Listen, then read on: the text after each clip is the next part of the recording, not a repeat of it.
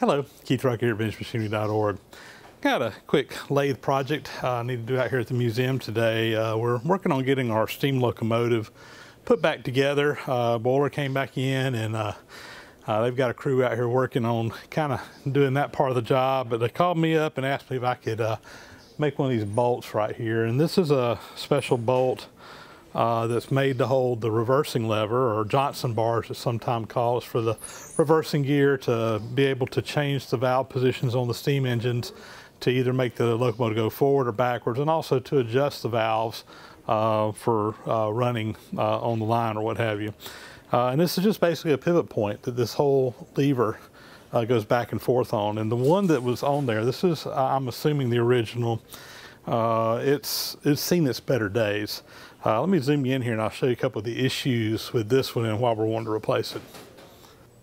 So here's the original bolt and if you look at it, the head on it has got multiple issues.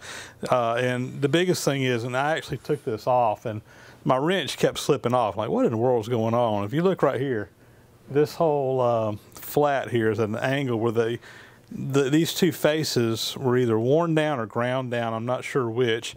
There's no real reason for it to be ground down. I think you can see it right there where the top of that is at an angle going down. Um, there's no real reason for it to be ground down. There's plenty of clearance in there, uh, at least in this current uh, way we had things set up. Now, years ago, it may not have had some clearance there. I'm not sure. Uh, but it was, like I said, really difficult to get a wrench stay on there. This is inch and 5 eighths hex uh, when you can find some original material, but it's all boogered up all the way around. That's number one. Number two, if you look right in here, this is steel, this is bronze. Um, evidently at some point in time, this uh, bolt had become so worn that somebody brazed it up and returned it. This thing is just totally out of round. It's not true. I can measure it. It measures anywhere from it's supposed to be an inch and an eighth in diameter, best I can tell. And it ranges anywhere from an inch hundred thousandths to an inch hundred and fifty thousandths. So it's about a fifty thousandths out of round all the way around this thing. So anyway, no big deal. We're just going to make a new one. Uh, I've got some inch and five eighths inch hex that we're going to make this out of. We could have done this out of some round and just milled the, the hex on there, but um, we were able to get our hands on this pretty easily. Uh, local shop had some in stock and they just basically gave us some. So anyway, that's what we're gonna make it from. So let's get in here and get it done. All right, we got it in the lathe here. I've just got this mounted in my three jaw chuck. Uh, since they're hex sided, three, three jaw self-centering is gonna be the way to go here. Uh, and we'll start by facing this off. And we're going to turn that down to inch and an eighth diameter, that length, and then we'll put the threads on there. It should be a fairly straightforward um, lathe job.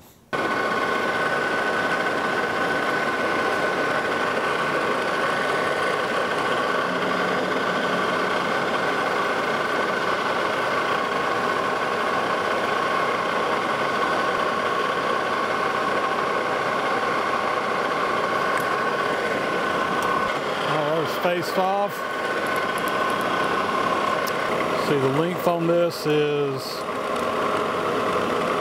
two and seven eighths. It's not real critical. Um, I'm just going to go in here and we'll make us a mark on here for how deep we want to turn that. Go in here and touch off on the hex.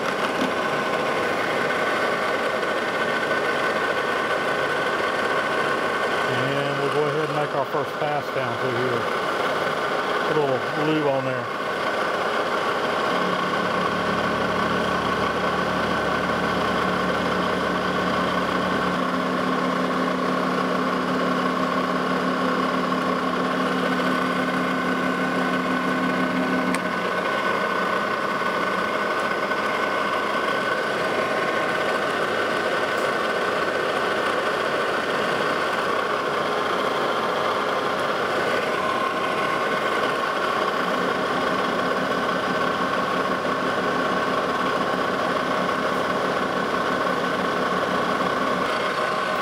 wasn't real happy with the finish I was getting off that insert I had in there and got looking at it, it looked like it was getting kind of dull, so I went and grabbed uh, some of these little Seco inserts. Can't see that. I'll get another shot of it. Uh, that Dennis Nolan gave me. I put in that TP 2501. Of course, that's a CNMG, and I'm really impressed with how this thing's cut, and then even more impressed with the finish that it's giving.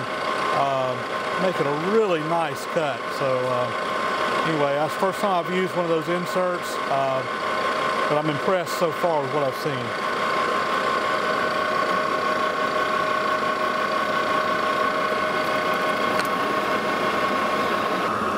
Get a measurement. All right, so we've got about 85 thousandths to take off of there. I'm gonna do a 60 thousandths uh, total, be 30 thousandths cut. And uh, we'll sneak up on that measurement.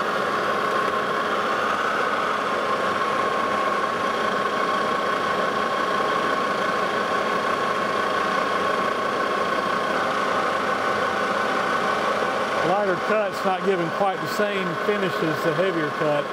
That's not unusual. Still probably going to be a, just fine.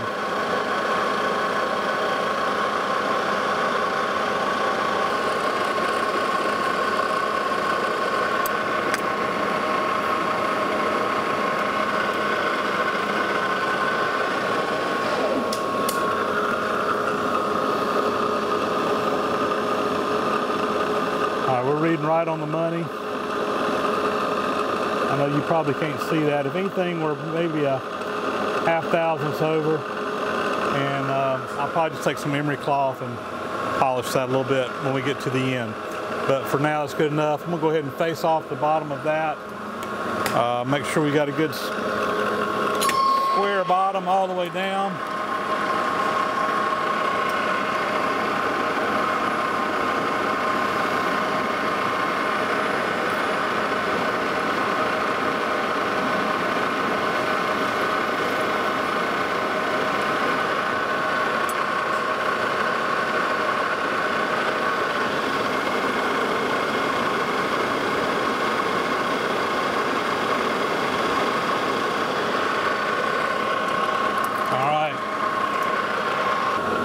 New bolt's coming along. Now I want to cut the step down here. This is a one inch eight thread, so we need to turn that down to one inch. Uh, need 125 to come off.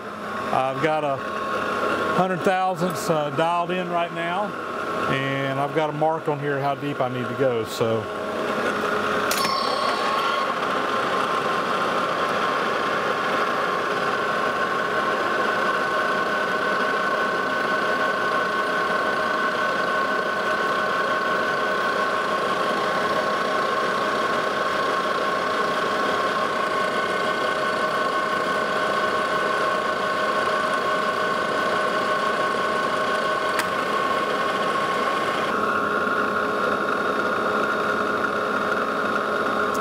about 20 thousandths to go.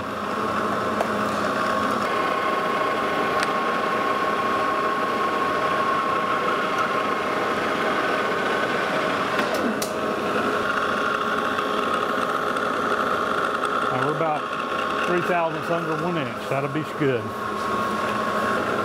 Next thing I want to do, next thing I want to do, if you look, there's a little, uh, little leaf back here.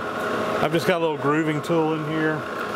Uh, that's going down to 100 and, or excuse me, 825 thousandths uh, diameter. So that needs to go in about a 175 thousandths. Uh, I'm just going to whittle it out here.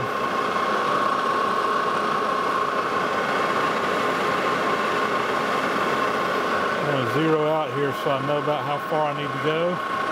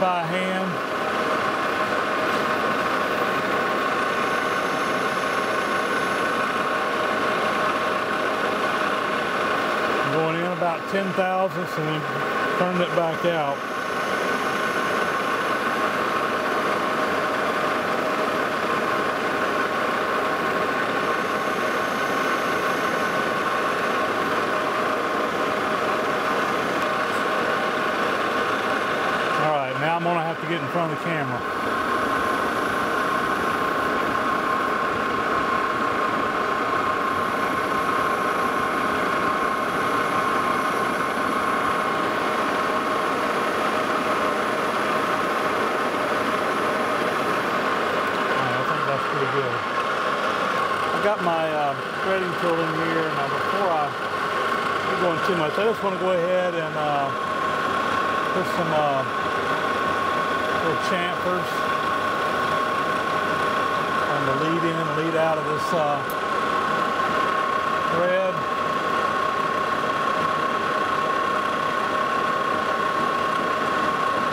Oh, I'm here. I'm just going to go ahead and lightly break that corner. I don't want to do chamfer on it.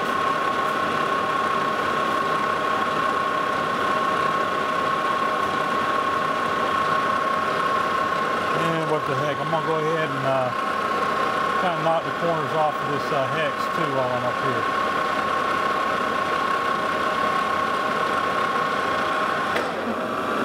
And that's fine. All right, now I'm gonna come in here and just kind of touch off on this.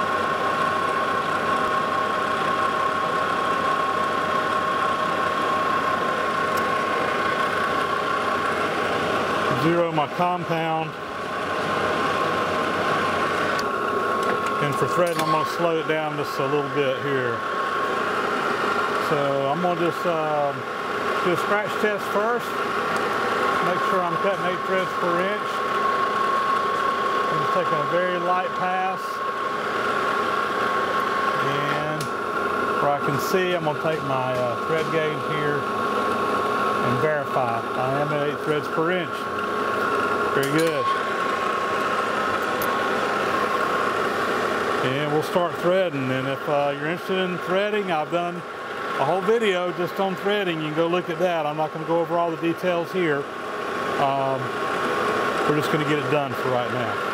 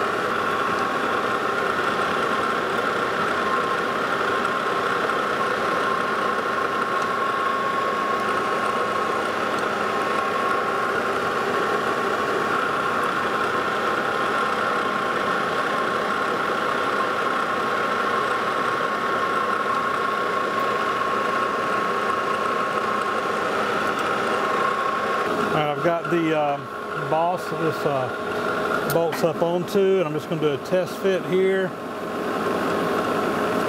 Yeah. I like it. That works just fine. So we've got our uh, bolt in made down here. Everything looks good. Then go ahead and just kind of lightly polish that. Got it down to measurement, uh, right on the money. So what I'm going to do now is take it out. We're going to just cut this off on the uh, bandsaw, and I'll flip this thing around now and face off the top of the uh, bolt. we got about 125 thousandths to face off the front of that.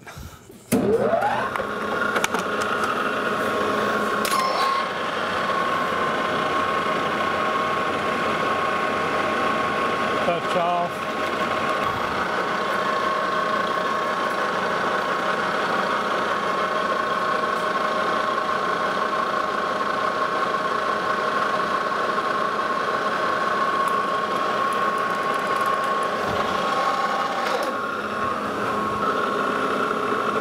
Yeah, we've still got a 115 thousandths to go. I'll put my dial indicator up here. I can kind of keep track of how far we've gone.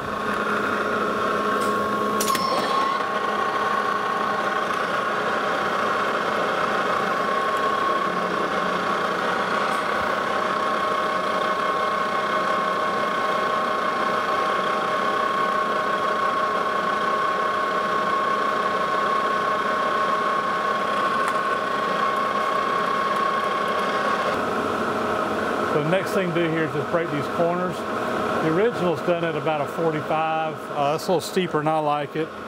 Um, I'm just going to use my threading tool, I think, and uh, use the angle on there.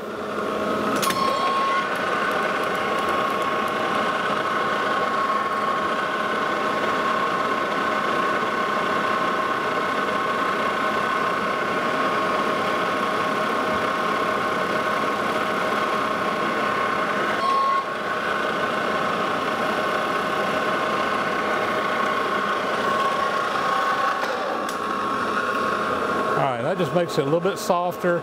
I like to break these corners until it's basically just turning all the way around at whatever angle you use. Uh, and that just kind of helps save your knuckles and doesn't have any sharp corners on it. So that'll pretty much be a wrap on making this part. Um, I've got the actual uh, reversing lever here, reversing gear lever, Johnson bar they're often called, and uh, this was the original bolt that goes in here. And you can see there's a little bit of play. It's, it's not terrible. Uh, we put the new one in here. Um, you know, this one is made, this one here had worn down to about an inch, hundred thousandths. So it's about 25 thousandths undersized and it wasn't round, it was oblong. Uh, the hole here is not perfectly round. It's worn a little oblong, but it's, it's not bad. And when I put this in here, there's still a little bit of play, but it's really not that bad. You know, I've been debating on whether I want to bore this out and put a bronze bushing in it, but there's just not a whole lot of material in here to begin with, and I really just think I'm gonna leave it like it is. Uh, it needs to have some clearance in there for this thing to rotate on anyway, and uh, you know, it was this part was working fine. It's just that it's, it wasn't right, and it had issues, and since we had it apart, we're gonna take it, we were just gonna make a new part here, but I think we're gonna leave that like it is. So this is ready to go back home. So with that, it'll be a wrap. Thanks for watching, guys, and uh, we'll be back with you real soon. Thanks.